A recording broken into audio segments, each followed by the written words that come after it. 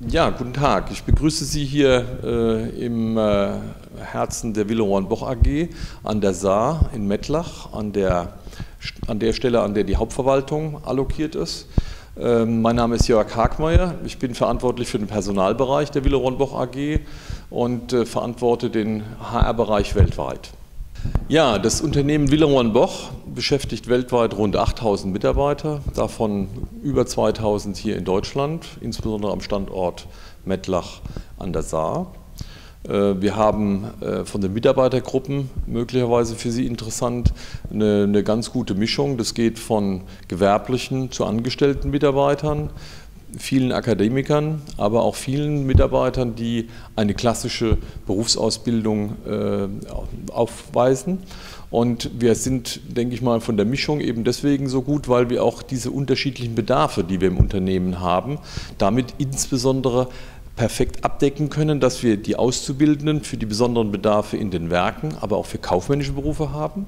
Wir haben sehr gute Erfahrungen gemacht mit Absolventen der ASW, die sehr praxisnah ausgebildet werden und quasi in der Hierarchie darüber stehen. Und wir haben seit einigen Jahren sehr erfolgreich ein Juniorenprogramm etabliert, das sich äh, insbesondere an Absolventen von Business Schools oder von Master-Alt-Diplomabschlüssen richtet. Und dort rekrutieren wir insbesondere den künftigen Führungsnachwuchs unseres Unternehmens. Also die äh, Begründung, warum wir da differenzieren zwischen Absolventen der ASW oder Fachhochschulen und der Universitäten, liegt einfach darin, dass die Ausbildung nach unserer Auffassung da auch sehr differenziert. Wir haben die eher Praxis- orientierte Ausbildung im Bereich der ASW und der Fachhochschulen und haben auf der anderen Seite doch die mehr wissenschaftliche Tätigkeit der äh, Absolventen, die von den Universitäten kommen. Dadurch können wir die Bedarfe, die es im Betrieb unterschiedlich gibt, ideal abbilden. Das gilt nicht nur für Villeroy-en-Boch, das gilt insbesondere für die äh, Industrie im, im gesamten Saarland. Dort sollte man vielleicht noch hinzufügen, dass die äh, universitäre Ausbildung oder Ausbildung an Fachhochschulen insbesondere auch für die Ingenieurberufe sehr, sehr wichtig ist und wir, denke ich mal, von der Wirtschaft gut beraten sind, ähnlich gute Angebote, wie wir sie heute haben, auch in Zukunft erhalten zu können. Ja, ich kann das nur bestätigen. Wir sind als Unternehmen, aber ich denke mal, da kann ich auch als Vertreter der, der äh, Wirtschaft hier im Saarland sprechen, sehr daran interessiert, dass wir ein sehr differenziertes Angebot beibehalten können von Absolventen von Hoch Fachhochschulen oder Universitäten. Das führt ja geradezu zu der idealen Situation, dass wir auf die unterschiedlichen Bedarfe mit unterschiedlichen Personen und unterschiedlichen Ausbildungswegen reagieren können. Vielleicht lassen Sie mich an der Stelle noch einen Punkt ergänzen. Wir sind orientiert am deutschen oder am europäischen und Weltmarkt. Wir brauchen Mitarbeiter, die von draußen kommen. Und eine funktionierende Universitätslandschaft ist insbesondere für uns als Standort hier an der Saar mitentscheidend, überhaupt Mitarbeiter hierher kriegen zu können. Sehr häufig äh, fragen sich die Mitarbeiter, wo liegt denn Mettlach, wo liegt denn die Zentrale von Willeroy-Boch? Und da können wir im Prinzip auf den Hinweis einer funktionierenden Universität, einer funktionierenden Fachhochschule und Bildungsbereiche doch sehr, sehr punkten, wenn wir sagen können, dass wir hier zwar am Rande von Deutschland, an der französischen Grenze liegen, doch eine sehr attraktive universitäre Umfeld und Landschaft hier haben. Die Differenzierung zwischen der Ausbildung in einer Fachhochschule oder in einer Universität ist natürlich nicht entscheidend für den weiteren beruflichen Werdegang. Unsere Erfahrungen sind so, dass wir in aller Regel die Rekrutierung für die einen oder anderen Bereich in den unterschiedlichen Ausbildungszweigen finden. In den innerbetrieblichen Ausbildungswegen ist es aber vielmehr so, dass es natürlich darauf ankommt, wie die Mitarbeiter sich hinterher in der Praxis tatsächlich bewähren.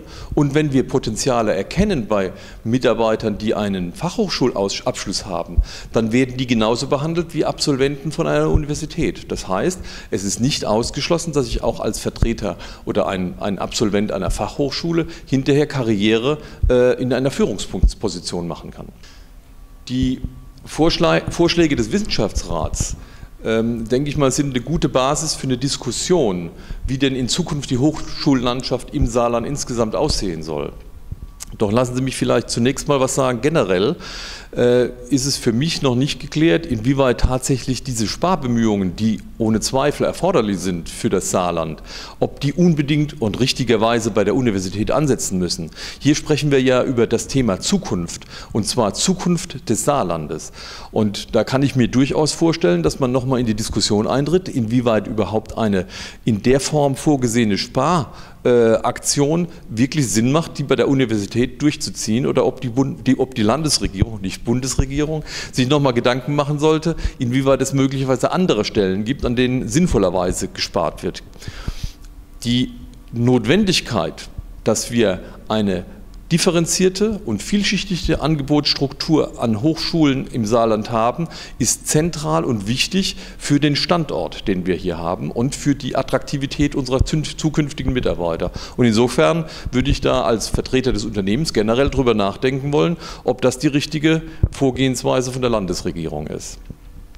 Was das Thema der Business Schools angeht und äh, der insofern gemachten Vorschläge, so denke ich mal, ist der Vorschlag auf alle Fälle zu diskutieren und sollte nicht von vornherein vom Tisch gewischt, gewischt werden.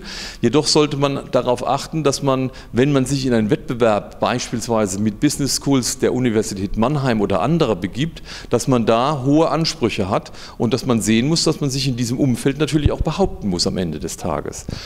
Grundsätzlich würde ich empfehlen, dass HTW wie Universität des Saarlandes sich intensiv an diesem Prozess jetzt beteiligen, weil nur wer sich in diesem Prozess beteiligt und einbringt, kann Einfluss auf die Gestaltung haben. Und das wäre aus meiner Sicht das Sinnvollste, dass insbesondere HTW und Universität des Saarlandes sich einbringen und gestalten, einwirken für die Zukunft.